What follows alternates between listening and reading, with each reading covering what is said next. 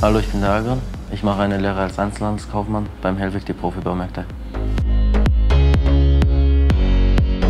Ich habe mich für den Lehrberuf entschieden, weil ich gerne Kundenkontakt habe und der Beruf selber sehr abwechslungsreich ist. Ich bin dafür verantwortlich, dass die Ware, die bei uns ankommt, in die richtigen Regale eingeräumt wird, berate unsere Kunden, wenn es Fragen zu den Produkten gibt und lege die Kundenaufträge direkt am PC ab. Hallo, ich bin die Sonja und ich mache die Lehre als Gartencenter Verkaufsfrau. Ich liebe den Kundenkontakt und arbeite auch gerne mit Pflanzen, deswegen habe ich mich für diesen Lehrberuf entschieden. Ich übernehme die Pflege der Pflanzen, übernehme die neuen Waren, die reinkommen und schaue, dass in der Abteilung alles sauber ist.